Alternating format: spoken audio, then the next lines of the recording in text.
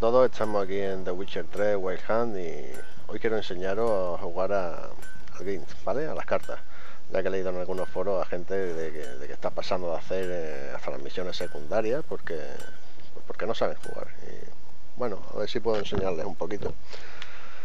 Y nada, pues para ello, lo primero vamos a ver la baraja. ¿Vale? Puedes usar cualquiera de las facciones, ¿vale? Tienes que tener un mínimo de cartas de unidad para poder empezar con, una facción de 22, ¿vale? Aquí en esta, por ejemplo, los monstruos, todavía me faltan algunas cartitas, ¿no? De monstruos. La verdad que una baraja que todavía quiero usar esta facción, todavía no lo he usado, me gusta. Bueno, aquí veis, ¿por qué no? Mira, aconsejo el número de carta de unidad que no pongáis más de 22.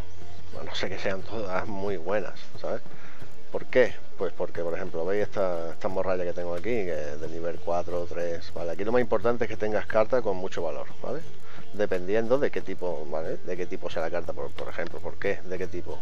Pues vamos a ver, por ejemplo, esta, que tengo aquí de nivel 9, ¿vale? ¿Sería buena para mí? No. ¿Por qué? Porque esta carta es espía. Esta carta la pone en, en el tablero, pero esa puntuación se la suma al rival. A ti te va a dejar robar dos cartas para ti, ¿vale? Aleatorias de tu taco, de cartas pero este puntuación irá para arriba. O sea que estas cartas de espía, lo suyo es que sea cuanto valor más bajo posible, mejor.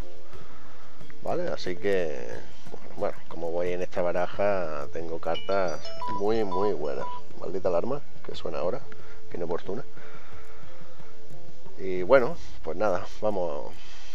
Yo creo que lo mejor es empezar una partidita para que vayáis viendo cómo se juega. Hola Ginley, vamos a echar una partidita de Ginley. Vamos a apostarte el máximo. Basura. Vale, Gerard. Eres máquina.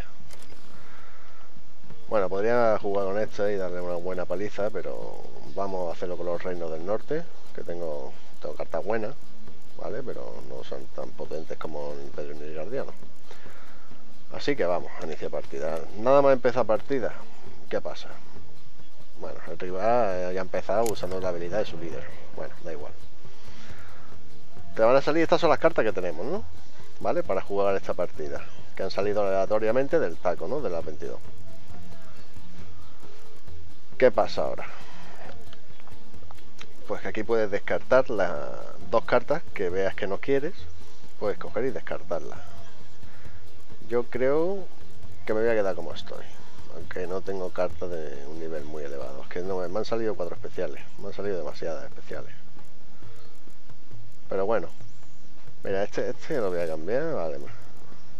Y ya está. Me ha salido bien, en cambio, de puta madre. Bueno, empezamos la partida. Empieza el rival. Vale, empieza ahí con un 1, el más nacido. no podía estirar más. Mira, vamos a utilizar esta carta. Esta carta, como he dicho antes, espía con nivel bajo. Es bueno, ¿eh? Que ahora él se le agregan los puntos, tenía uno y ahora tiene 5 yo robo dos cartas de mi taco. Vale, ahora podemos hacerle un, engaño a este chaval. Podemos usar. Bueno, lo mismo me sale mal. Porque como tengo una carta de, esta de destruir otra carta, me jode. Vale, mira, le hemos hecho ya... Él ha gastado ya tres cartas. ¿Qué pasa? Vamos a ser un poco inteligentes. Esto es un señuelo, ¿vale? Que puedes poner en el campo de batalla por si quieres recuperar alguna carta, ¿vale? Si ves que tú ya no vas a poder hacer nada de esa ronda o ves que la vas a perder, pues por lo menos recupera una carta más. Vamos a hacerle este, el timo, un timo perfecto, ¿vale? Le ponemos el señuelo, yo ya no tengo puntos. El rival pues va a seguir gastando cartas, ¿ves? Ya le quedan 6 nada más. ¿Y yo qué voy a hacer ahora? Pues pasar. Yo paso esta ronda, ¿vale? De la con a él, sin problema. Ahora, ¿qué pasa? Que yo tengo 10 y él tiene 6, 6 cartas. O sea que le voy a meter la paliza del siglo.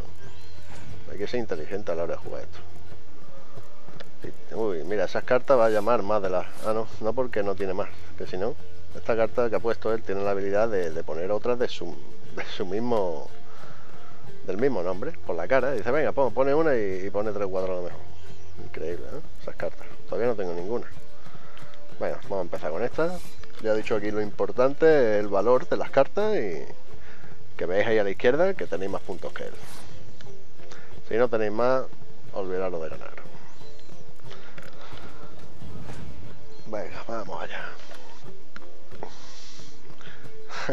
Mira cómo pasa, si es que sabe que va a perder.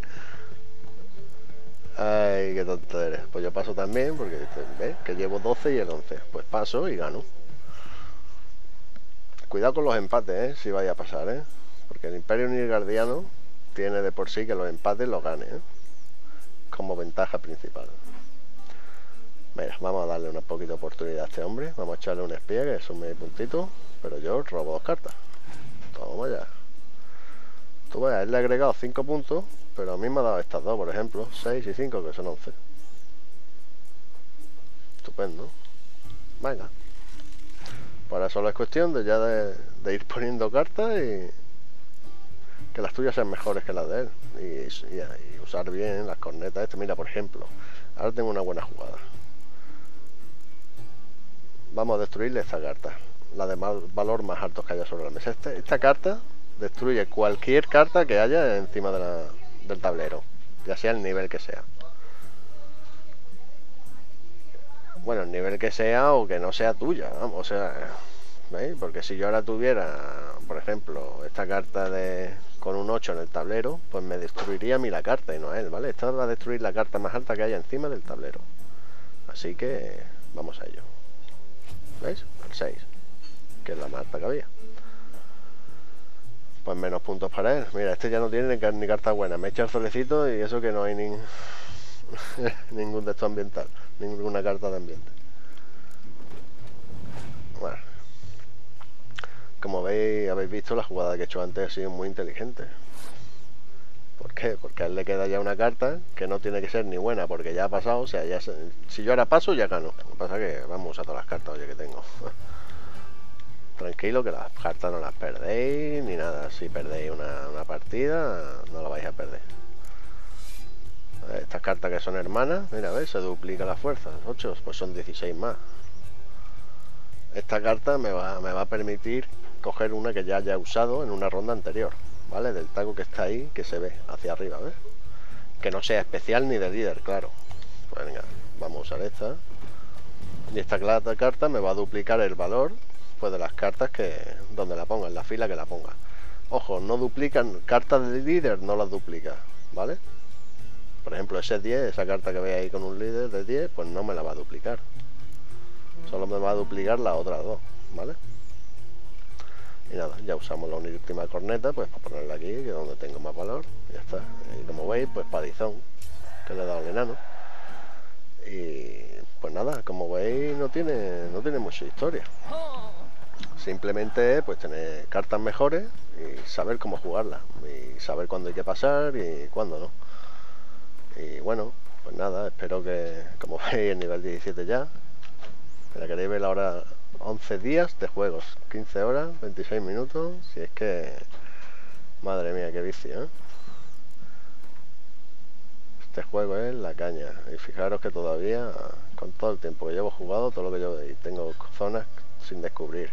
Y ojo, que todavía no he viajado a la isla de Esquili, ¿eh? Bueno, pues, eh, pues nada, espero que os haya gustado el vídeo, que os sirva de ayuda para jugar las cartas, que para que hagáis las misiones secundarias y no os dejéis tirada, porque la verdad, a mí las cartas, ojalá se pudiera jugar online contra gente, porque me tienen bastante enviciados. Y por ejemplo, aquí en la ciudad esta del norte, que no me acuerdo dónde era, aquí hay un campeonato de cartas, que lo sé que lo tengo en una misión secundaria, creo que lo tengo por aquí. Apuestas altas, ¿eh? de nivel 26 yo he ido aquí antes al escribano este y, y va y me dice que todavía ustedes visto las cartas que tengo, ¿no? Tengo unas cartas de nivel 10 bastante altas y todo en la, baraja. Pues me dice que todavía no tengo el nivel suficiente para cartas buenas para ir ahí y, jugar el campeonato. Y por eso estoy yendo de, ciudad en ciudad, taberna en taberna, de comerciante a comerciante, ganándole cartas a todo el que tenga cartas, ganándole. Y ya llevo bastante visitado. Bueno, pues eso, no me enrollo más y espero que haya servido y que disfrutéis del juego de, de las cartas y de este gran juego que es The Witcher 3. Un saludo a todos y hasta otra.